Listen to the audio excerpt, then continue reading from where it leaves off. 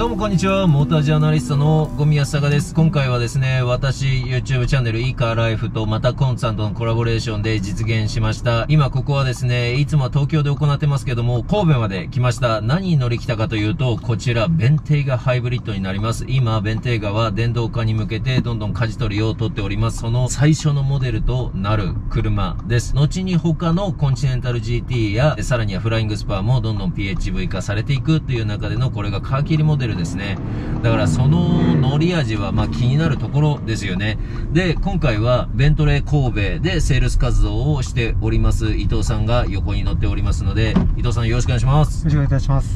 さあ、じゃあ早速なんですけど、えっ、ー、と、今僕がちょっと EV モードで走っていいですか？いや、この2.6トンの車が EV ドライブどんな感じなんだろうっていうのは、あ、かなり EV ドライブで走るんですね。僕エンジンかかると思いきや。あのアクセルペダルでプレッシャーポイントっていうのがありますので、はい、そこを超えなければ時速135キロまでは EV で走れます。あ。これ右です。そうなんですか。はい。じゃあエンジンがかかるポイントがアクセルの踏み込みの重さで分かるってことなんですね。そうですね。それはハイブリッドモードでもそうなってるんですか？あそうです。はい。EV モードでもやっぱそれを超えてさらに踏み込んだらかかるっていう話なんですね。はいそうですね。なるほど。でもこの2.6トンが電動ドライブしてるってなんかすごい時代になりましたね。そうですね。モーターのパワーってすごいんだなっていうのは本当にこれを乗ると分かりますね。でこれも結構いい加速の仕方してますけどそれでもかからないですもんね。メーカーとしては約50キロ、はい、EV で走っていただけるということで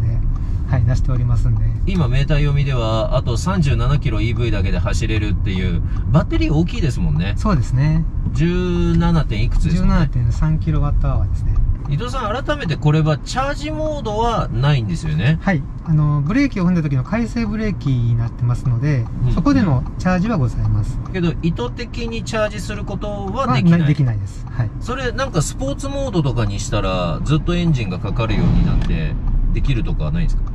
あの、ホールドモードは、まあ、パワー重視なんですけど、それでもこう充電機能はないですね。この EV だけで、高速道路を普通にバビョンと行けるのかっていうあたりを確認したくてですね。さあちょっと2.6トンには酷な上り坂を走りながら。まだこれかかってないですよね。そうですね。あちょっとかかっあかかってるんだ今そうですね。あのタコメーター動いてます、ね、タコメーターがかかってますね。全くわからない。っていうか車が静かすぎなんですね。これ通常のベンテーガよりも静かじゃないですか。そうです。はい。あのー、まあもちろんエンジンの V6 っていうのが V8 に比べるとマフラーのエグゾーストの音もかなり静かに作成されてますんで。うんうんうん。全体的にエンジンがかかったかどうかもわからないレベルで静かな、まあ、静粛性を保たれてますいやなんかこの静粛性は他のベンテーガ以上にしかもでもこれ22インチですもんね。はい、そうです、ね。22インチでこのタイヤの感じとかは、すごくいい気がします。なんかこれは、そうか、やっぱこっちの方向性なんだな。あの、何のことを言ってるかって、この PHV になった時に、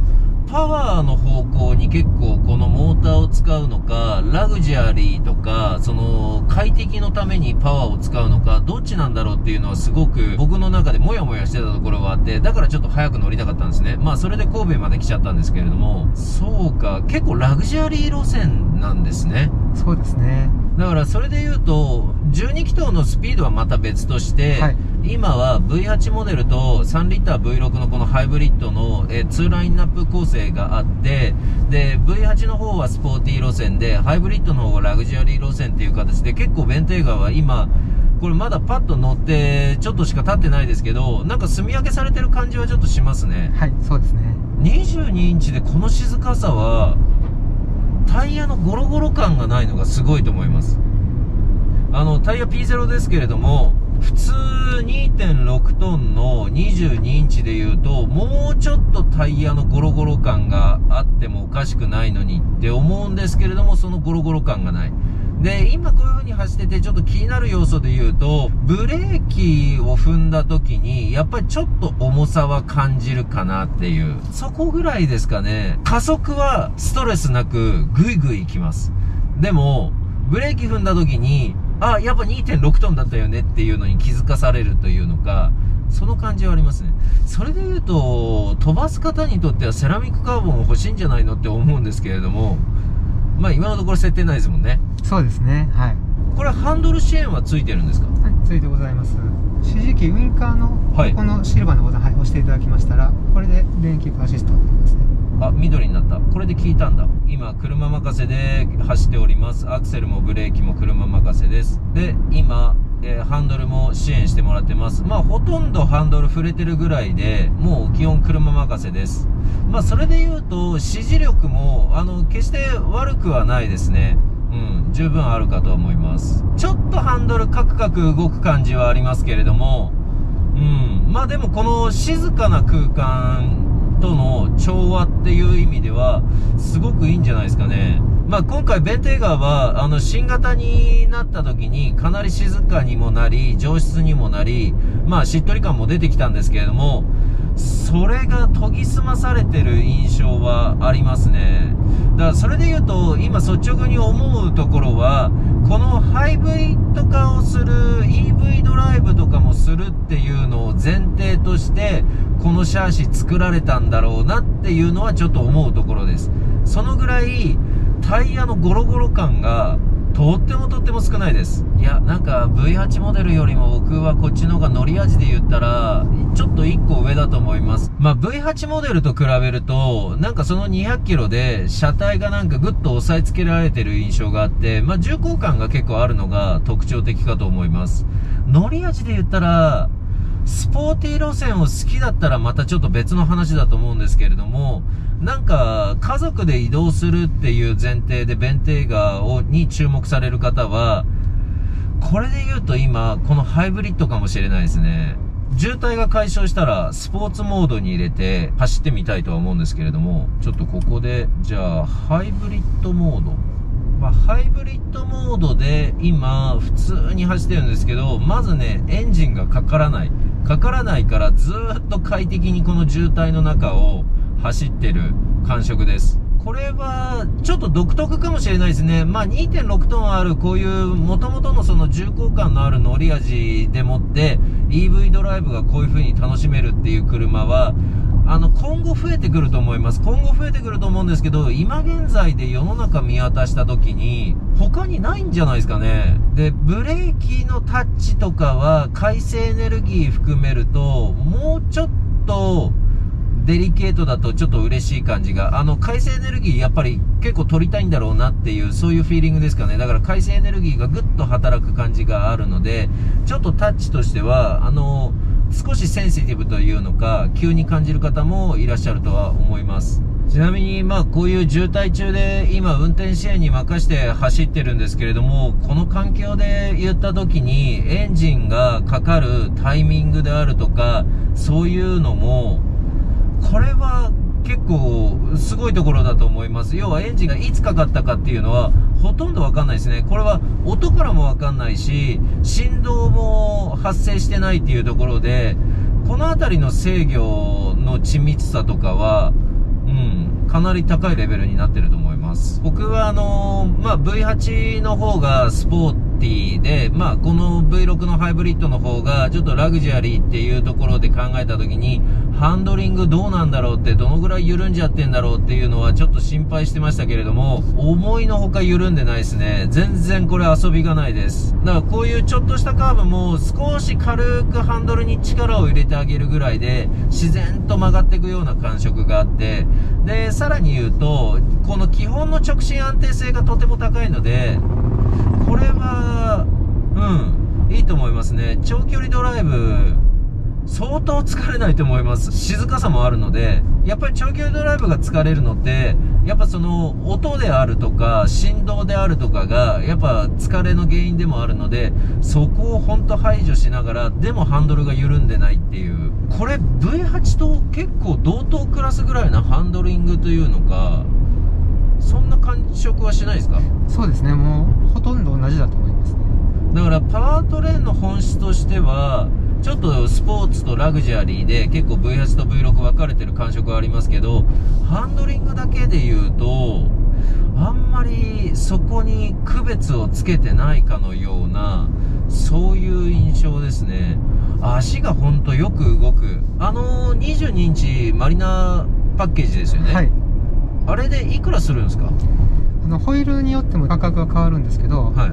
大体240万円とか、まあ、220万円とかっていうところですね、はい、やっぱ内装まで含めて変わるので、はい、ぼちぼち値段はやっぱしますね。そうですね、うん、いやーなんかねエンジンがかかってるのかって今一瞬思ってパッとメーターを見るとやっぱかかってるんだとかその辺りがすごい不思議でしょうがない。さあちょっと自分の運転に切り替えてハンドル支援も切って。あーすごいトルク今さりげなく穏やおお力強ちょっと今ねあのモーターがギンって動き出した片鱗を感じたので少しこれはちょっと僕のまだ見てない顔があるんですねこの車。ちょっと3215ああなるほど。そういうことか。あの、エンジンはあくまでもやっぱ3リッター V6 ですね。だからエンジンが回り出して、ドンっていう感じじゃなくて、そのアクセルを薄く踏んだ時のグッっていうこの出方のところにものすごい力がありますね。で、アクセル踏んで本格加速しようとした時に、じゃあ抜群の加速するかっていうと、やっぱ2.6トンあるので、そこまで強烈っていうものではないですね。なるほど。だから、本当モーターがかなり、うん、なんてでしょう、存在感出してる感じです。だからモーターって低速であればあるほど力強さを出すので、高速になればなるほど力強さを出さなくなるっていう、まあそういうユニットなので、なんかさっき穏やかに走ってるところから、不意にグッと出た時のあの加速感に僕はちょっとびっくりしたんですけど、でも、その期待値のまんま上を確認した時に、うわ、すげえっていうとこはないですけど、今スポーツモードにしたので、ちょっともう一度、3、2、1、5。あーなるほど。スポーツモードにするとうん。かなり力強く加速します。でもこの領域を求めるなら絶対 V8 ですね。そうですね。はい。これもう多分もう確信犯です。確信犯です。だから今ベントレーとしては明確にもう V8 は V8 で売りたいし、この3リッターの V6 のハイブリッドはハイブリッドで売りたいんですけど、そこを絶対喧嘩させないっていう、すごい意志を感じます。なんかラグジュアリーにゆったり走るっていう方にとって、すごくいいトルク感っていう印象ですね。この最大トルクの700ニュートン。でも、その700ニュートンの力強さの延長線上に、さらにもっと加速力があるのっていうところで踏んだ時に、そこに関しては、もちろん必要十分な加速力はあるんですけども、そこでの激しさとか刺激とかで言ったら、まあ、V8 選んでくださいよっていうね、すごいメッセージ。なるほど。だからそこは合わせ持ってないんだな、今。それは今、すごい痛感しております。万能的っていうとこじゃなくて、明確にだから弁天眼に興味を持った時に、どこに主眼を置くかを検討されてる方がちゃんと見定めないといけないですね。でもこのハンドルを切ってる時のこの安定感はすごいと思う。今まあスポーツモードなので足もちょっと締め上がってる状態で突き上げもちょっとあるような状態。先ほどまでのなんかちょっと1枚厚めの絨毯っていうほどじゃないんですけど、ちょっと薄めの絨毯。まあ、22インチなんでね、もうインチアップした。だからそれを求めるのは21インチのノーマルで乗った方がっていう話ですけども、でも絨毯の上を走ってる感触があります。ノーマルの時は。今スポーツにすると、その絨毯が薄いゴムの板みたいな、そそんな感触っていうんですかね。ダイレクトにゴンゴン来る感じではないですけども、でも、ちょっと衝撃としては、先ほどよりも入ってくる感触。でもその分、この2.6トンでもハンドリングがシャキッとしてる印象はあります。ちょっとこれで、コンフォート、逆に、あー、ハンドルが緩んだ。なるほど。あの、ハンドルがまず軽くなりました。で、センター付近はしっかりと反応はしてるんですけれども、ちょっとハンドルが軽い分、そのセンター付近のしっかりしているとこから少しハンドルは切れやすくなっちゃってるんですよね。だから、ギュッギュッってちょっと曲がりやすくなってるので、だから、やっぱずしっと安定して走りたいっていうところはスポーツモードか、もしくは、だから、ベントレーモードのこの B モードがめちゃくちゃ賢いです。特別自分で何かこういう風に走りたいっていう意思がなければ、もう B モードが今めちゃくちゃ賢いです、ベントレー今。そうか、コンフォートは完全乗り心地重視になるんですね。ちょっと今、バッテリーでまだ23キロ走るので、この高速領域で、改めてちょっと EV、はい、EV にしました。結構 EV でも、うん、力強く加速する印象はあるな。ああ、全然この追い越し車線を普通に行ける感じがあって、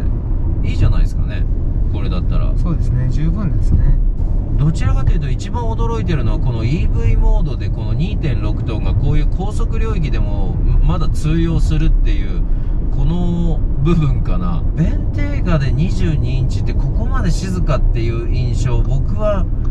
なかったんですけどさあ、高速道路を降りてきたので、ここからはコンフォートモードでちょっと行きたいと思いますけど、いや、やっぱ一般道降りてくると、改めてですけども、ベントレーって、あ、そうだよ、これだったよねっていうところで、ほんとなんかね、こういう船に乗ってるような、クルーザーに乗ってるような、なんかゆったりとした乗り味の中で、なんかほんと上質さ、なんか優雅さ、ゆとりっていうのをほんと感じるっていうのが、で、それが研ぎ澄まされた感があるのが、このハイブリッドだなっていう印象もあります。まあ今現在で言えば、ハイブリッドと V8 がもう完全併売で同じ価格でっていうところなので、まあ今までの価値観の延長線上で、もうスポーティーとかシャキッとした乗り味を好きな方はもう V8 を選んでいただき、まあラグジュアリー路線を好きな方、静かさとか上質さとかを求める方、一緒に乗ってる人の快適性とかまで踏まえる方とかは、まあこのハイブリッドに注目しても損はないかと思います。ということで今回も、えー、最後までご視聴ありがとうございました。伊藤さんありがとうございました。ありがとうございました。